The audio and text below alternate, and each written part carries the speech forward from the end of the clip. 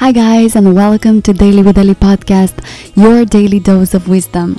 For those of you who are new to the podcast, the purpose of the podcast is for us to learn to be better humans one day at a time. Every episode, we will explore a wise quote or intriguing idea that will expand your emotional intelligence and soften your heart. This being said, let's get into it. The inspirational quote of today is when someone shows you who they are, believe them the first time. End of quote by Dr. Maya Angelou. I have chosen this quote because this is something that most of us battle with. We show resistance to the facts and we stubbornly hold on to the idea that we can change people to the better. That in our presence, they will grow out to be their best selves. But truth is that those assumptions that we make leave us open to feel disappointed, hurt, and betrayed by other people. When in fact, we were the ones who betrayed them by not trusting them the first time. Now, you might say, that first impressions can be wrong, that people deserve a second chance, that people do change, and that is perfectly understandable. However, a lot of us give others a second chance without them asking for it which is the root cause of all suffering on both ends.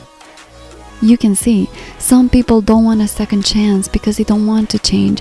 So when you choose to ignore what they've shown you about themselves, what they have told you about themselves, you set your relationship for failure. When you give people a second chance without them asking for it, you add two elements to the equation expectation on your side and pressure on their side and nothing good can come out of it because nobody will change pressed by circumstances only. Change is a laborious process that needs a lot of unlearning, and it can only be done with a strong internal commitment regardless of the outside pressures. That is why there are married men and women out there caught cheating that are given second chances, pressed with divorce papers and they continue to cheat regardless of the possibility for them to lose their marriage, their family unity, their kids' custody, and so on. As you can see, change doesn't come from a mental space solely. People do not change just because they understand what a bad situation they are in or the hurt they do to others. Anthony Robbins says that change happens when the pain of staying the same is greater than the pain of change. And even that is questionable in my view. Because I've seen a lot of people initiating change in unexpected moments because that was the right moment for them personally on an internal level.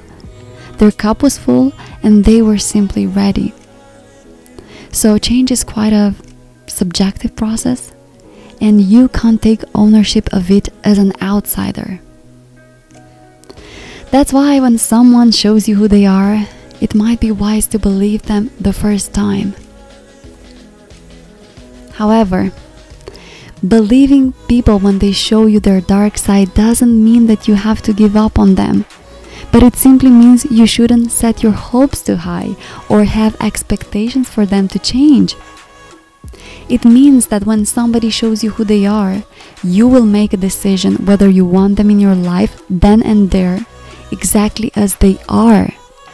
It means that you are completely aware and accepting of their flaws, and you are okay with having them in your life just like that, even if they will never change. And believe me, this is a very liberating process. It saves you so much time and energy. Inviting someone in your life and then conditioning them to change in order to stay is painful. On the other side, only allowing in your circle the people whom shadows you can deal with is maturity. Why add more stress when you can choose wisely from the beginning?